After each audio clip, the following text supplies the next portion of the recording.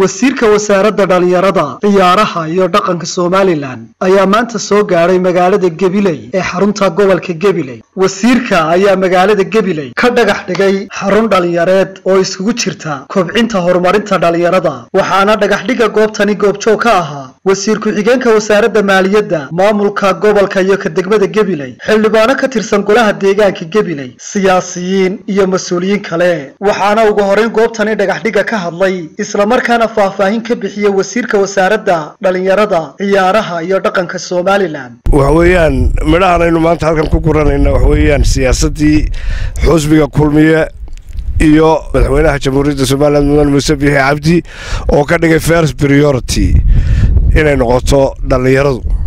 Waxay ku taallaa siyaasaddii xusbiga oo lagala hadlo oo la dhiirigeliyo dhallinyarada. Sidaa aawadeed baa kelifti baynu saaka halkan iskugu nimi inaynu halkan dhigno dhagaxa halkan oo noqon doonta iyo santarkii gebiley xagga shaqa abuurka xukuumaddu waxay geed dheer iyo geed gaabanba u fuushay una fuushan tahay in la helo maalgelin dibadda ka timaada iyo maalgelin gudaheenna ka timaado inuu isku darno shaariic horumarineed oo shaqa abuurana ay dhashaan. Markaa dhinacyo badan ayay xukuumaddu horumarinta maxaada dhallinyarta ay ka soo gelaysaa maamulka heer gobol iyo heer degmo ee gobolka gebiley oo goobtani iyaguna ka hadlay ayaa waxaa hadalladoodii ka mid ahaa. Maanta farxad weyn bay noo tahay maamul ahaan. Inaannu dhagax dhiganno xaruntii dhallinyarta ee gobolka gebiley yeelan lahaa.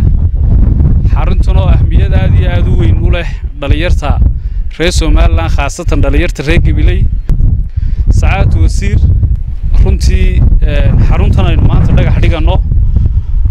Waa xarun aynu ugu talagalnay inay ka soo baxaan dhallinyar caafimaad qabta oo qaranka runtii wax ku soo kordhisa.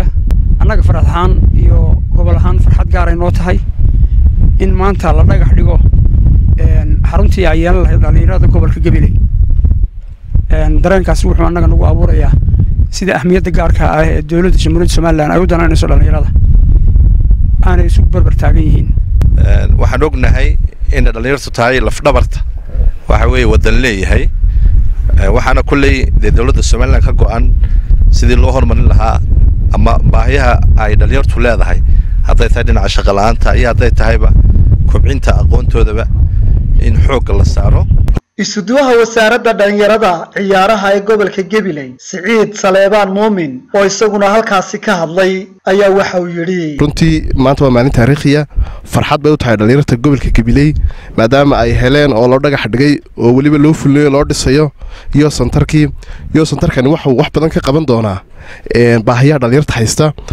Wuxuu wax badan kala dagaalami doonaa balwadaha kala duwan ee dhallinyartu hadee jeer ku mashquulaan. Gebagabadii wasiirka wasaaradda dhallinyarada ciyaaraha iyo dhaqanka somalilan waxa uu kormeer ku soo maray garoomada kubadda cagta iyo baasketka ee ku yaalla gudaha magaalada gebiley waa cabdirasaaq axmed hayaan ilka case star t v gobolka cagaaran ee gebiley